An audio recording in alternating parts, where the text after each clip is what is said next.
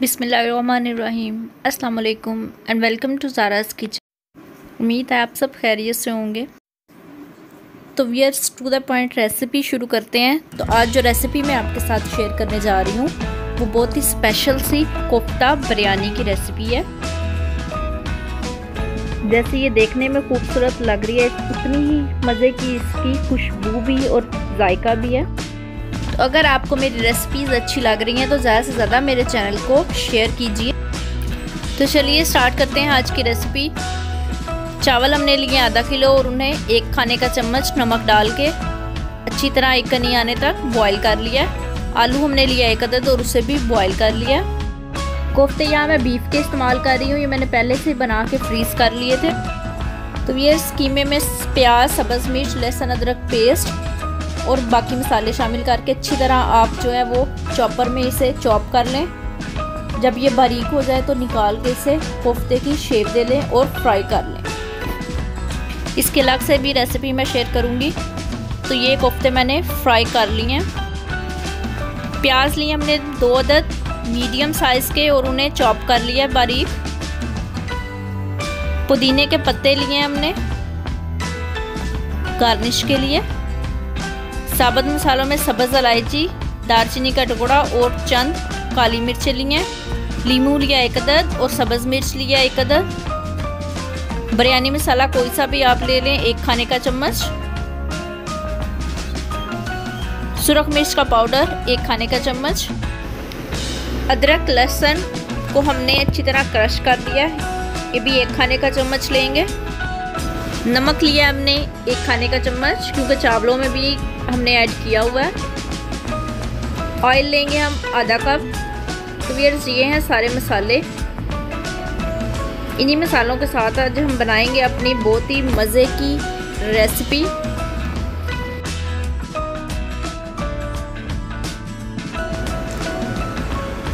अब हम बर्तन में सबसे पहले ऑयल डाल देंगे। और जैसे ही ये थोड़ा सा गर्म होता है तो इसमें हम अपने साबत मसाले जो हैं, वो शामिल करेंगे।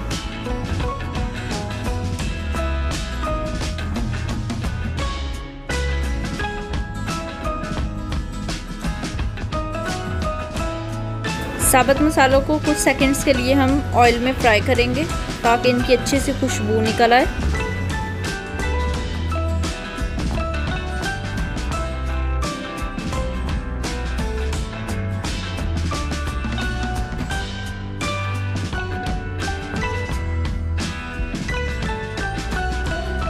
अब हम इसमें प्याज शामिल कर देंगे। और प्याज को तकरीबन हल्का सा गोल्डन होने तक हम अच्छी तरह फ्राई करेंगे।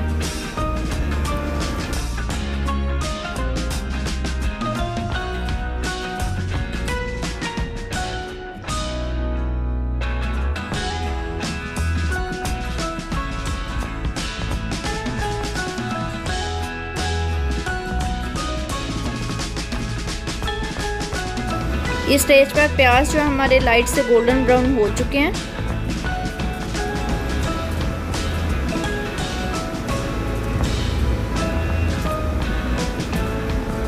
अब हमने इसमें थोड़ा सा पानी शामिल किया।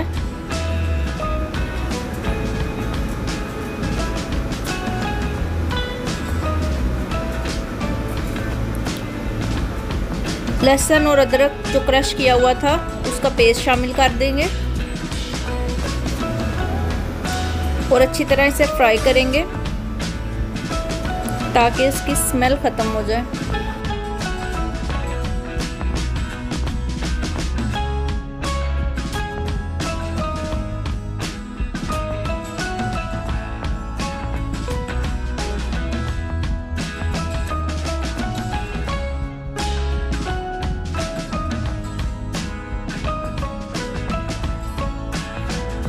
तो वीयर्स अच्छी तरह बुनाई करने के बाद अब हम इसमें एक एक करके मसाले जो रह गए थे वो शामिल करेंगे। सब्ज़ मिर्च शामिल किया सबसे पहले, उसके बाद बिरयानी मसाला हम डाल देंगे। सुरख मिर्च का पाउडर जो है वो डालेंगे। नमक शामिल कर देंगे।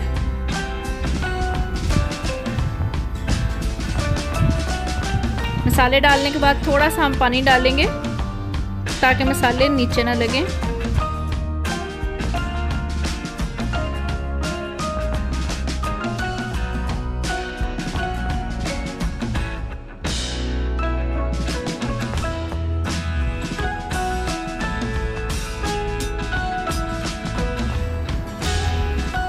और एक से दो मिनट के लिए हम अच्छी तरह इनकी बुनाई करेंगे।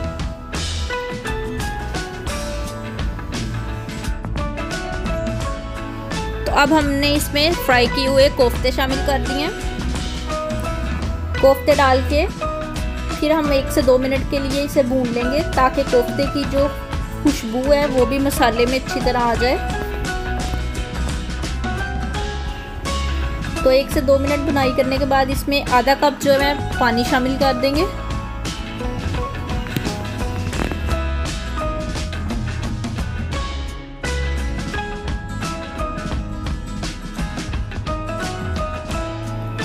पानी शामिल करने के बाद सिर्फ़ दो मिनट के लिए इसे हल्की आँच पर ढांप कर रख दें।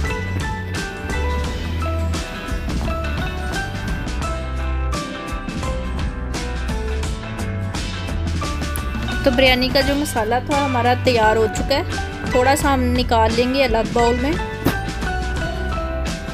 और बाकी के ऊपर चावल की हमने लेयर लगा दी है।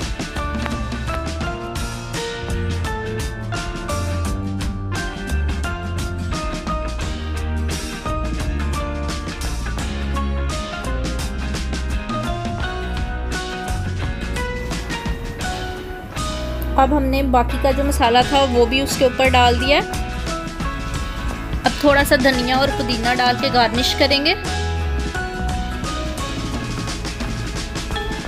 और दो से तीन पीस आलू जो बॉईल किए हुए थे, वो डाल देंगे।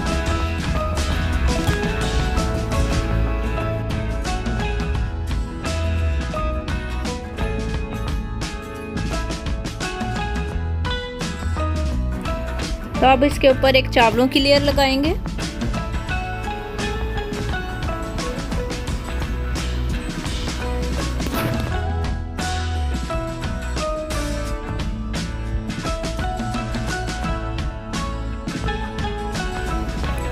और आखिर में हम बॉईल किए हुए आलू, धनिया, पुदीना, थोड़ा सा बिरयानी का मसाला जो है वो हमने डाला है इसके ऊपर। और जरदा रंग मुझसे स्किप हो गया था, वो इसके ऊपर इसी तरह ड्राई पाउडर फॉर्म में ही आपने जरदा रंग डाल देना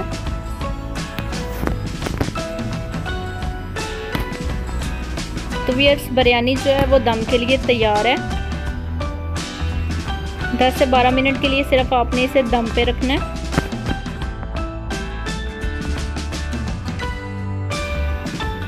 बिल्कुल लो फ्लेम पर कवर करके इसे रख दें। तो टाइम कंप्लीट हो चुका है तो देखते हैं कैसी बनी है हमारी बिरयानी। तो माशाल्लाह व्यूअर्स आप देख रहे हैं कि कितने ही खूबसूरत कलर्स लग रहे हैं बिरयानी के।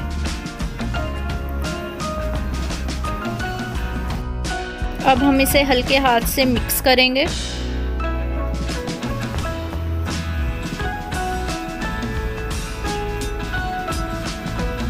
तो बिरयानी बहुत ही मज़े की तैयार हुई है। तो गार्निश कर लेते हैं बिरयानी तो अलहमदिल्ला व्यर्स ये है मेरी रेसिपी की फाइनल लुक तो कैसी लगी आपको मेरी आज की स्पेशल कोफ्ता बिरयानी की रेसिपी उम्मीद है आपको बहुत ही यमी और बहुत ही डिलीशियस लगी होगी तो ज़रूर इस रेसिपी को फॉलो करें. तो बहुत ही सिंपल सी चीज़ों के साथ मैंने इजी सी रेसिपी आपके साथ शेयर की है. तो मिलते हैं एक और नई डिलीशियस सी क्विक सी रेसिपी के साथ। तब तक आप मेरे चैनल को लाइक शेयर एंड सब्सक्राइब करें और बेल आइकॉन को ज़रूर प्रेस करें और ज़्यादा से ज़्यादा अपने फैमिली एंड फ्रेंड्स में मेरे चैनल को शेयर कीजिए। अल्लाह हाफिज़।